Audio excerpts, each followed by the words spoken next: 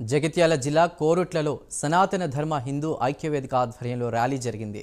దేవాలయాల భూములను రక్షించడంతో పాటు సనాతన ధర్మ పరిరక్షణ బోర్డు ఏర్పాటు చేయాలని డిమాండ్ చేశారు. ఆర్డీఓ కార్యాలయంలో అధికారులకు వినతి పత్రాన్ని సమర్పించారు. ధర్మాన్ని కించపరిచిన ద్వేషించిన వ్యక్తులను వ్యవస్థలను కఠినంగా శిక్షించాలని కోరారు. హిందూ దేవాలయాల్లో అన్య మతస్థులను తొలగించి కేవలం హిందువులను నియమించాలని అన్నారు. ప్రతి ఒక్క హిందువు కూడా చైతన్యం కావాలి ఇకనైనా మేలుకోవాలి అందరూ కలిసికట్టుగా ఉండాలి. అదేవిధంగా సనాతన బోర్డు ఏర్పడాలి. మన దేవాలయ భూములు మనం కాపాడుకుందాం.